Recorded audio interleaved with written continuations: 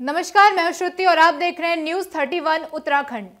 काशीपुर में बीते दिन पुलिस और निगम प्रशासन ने हाईकोर्ट के आदेश पर नगर के मेन बाज़ार में अतिक्रमण के खिलाफ अभियान चलाया।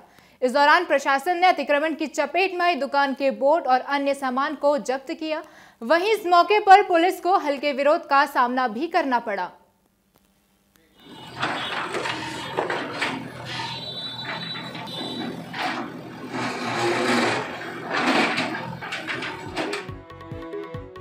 काशीपुर में अतिक्रमण के खिलाफ दायर याचिका के बाद हाईकोर्ट के आदेश का पालन करते हुए बीती सुबह एसडीएम अभय प्रताप सिंह, नायब तहसीलदार भुवन चंद्र आर्य और नगर निगम एम एन ए विवेक राय ने निगम प्रशासन और भारी पुलिस बल के साथ अतिक्रमण के खिलाफ अभियान चलाया।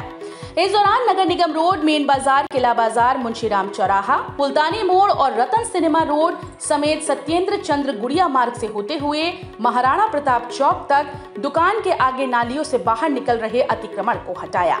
इसके साथ ही निगम ने दुकानों की बोर्ड समेत अन्य अतिक्रमण को अपने कब्जे में लिया। वही अतिक्रमण के खिलाफ चले अभियान से व्यापारियों में हड़कंप मच गया, जिसकी सूचना मिलने पर मौके पर व्यापार मंडल पदाधिकारी भी पहुँचे और उन्होंने प्रशासन से अवैध अतिक्रमण को ही हटाए जाने की मांग की। हालाँकि अतिक्रमण हटाने की सूचना पर व्यापारियों ने खुद ही अतिक्रमण हटा लिया, जबकि अधिकतर व्यापारियों ने पहले ही अतिक्रमण को हटा दिया था। इस दौरान प्रशासन ने भविष्य में अतिक्रमण करने पर कानूनी कार्रवाई किए जाने की बात कही।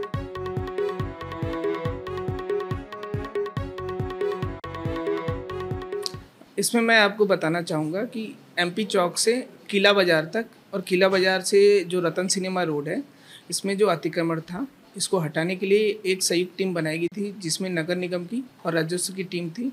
सबसे पहले जो अतिक्रमण थे, उनको चिन्हित किया गया, उस पर निशान लगाए गए।